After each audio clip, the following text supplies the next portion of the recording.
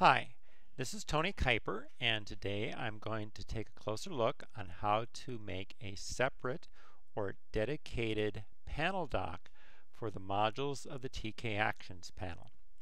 First of all, a little bit about panel docks.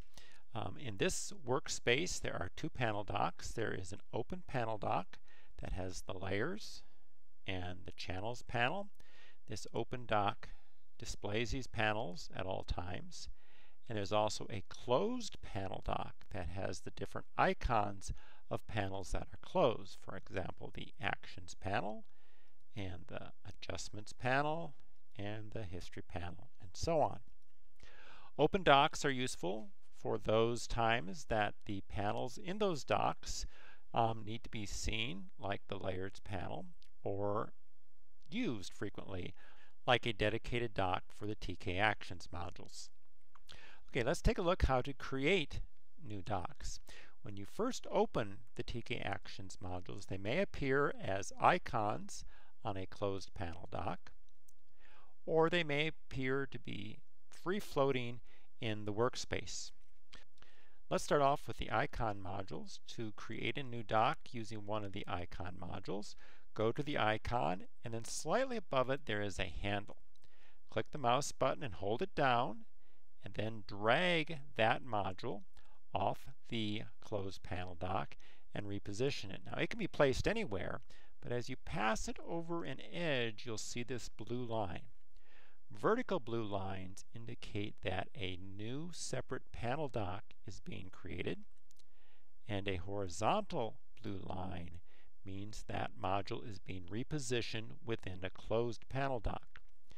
We want a new separate panel dock for the TK Actions modules, so we're going to go to an edge, get a vertical blue line, release the mouse, and now we have a new panel dock with the TK Actions module in that dock.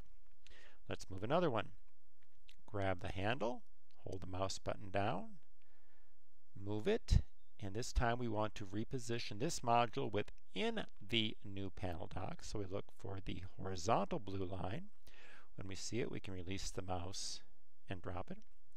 For a free floating panel like the TK control panel that doesn't have a handle, simply click on the tab, move the panel to the new panel dock, look for a horizontal blue line, I actually want this at the top. So I'm going to put that horizontal blue line at the top of the panel dock, release the mouse, and now that module is in the new panel dock.